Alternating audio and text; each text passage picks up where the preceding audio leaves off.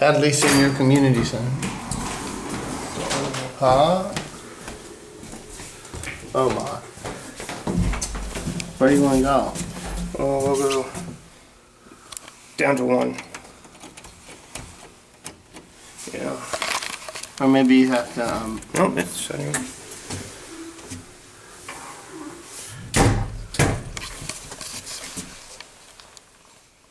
And then press. Getting a cab view pretty hard because it's very small. yes it is. We have a burnt out light there.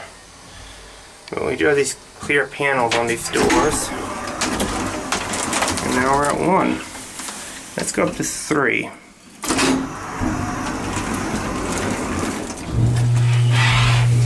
Definitely hydraulic. These are pretty interesting fixtures.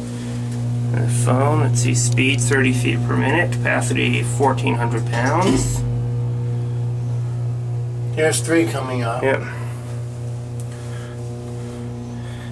I have an interesting proposal. Why don't I take it down to two, then I step out, and you take it down to one, and I'll film what's in the shaft. Okay.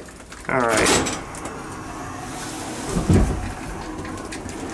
This is how some elevators in Eastern Europe are modernized. They just throw in one of these automatic doors.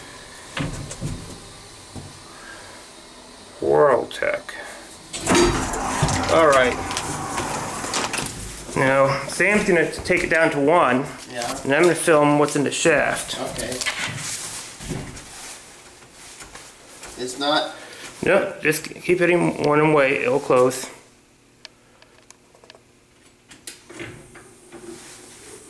I have my flashlight here. Let's take a look. Hit it one again.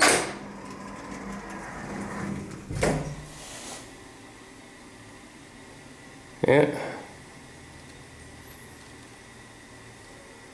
All right.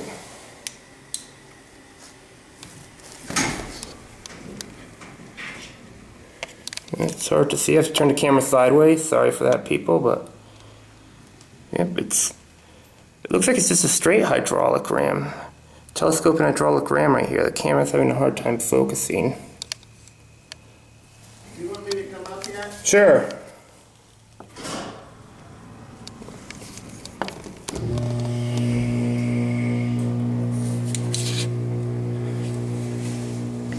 Yeah, so it looks like a straight telescoping hydraulic ram.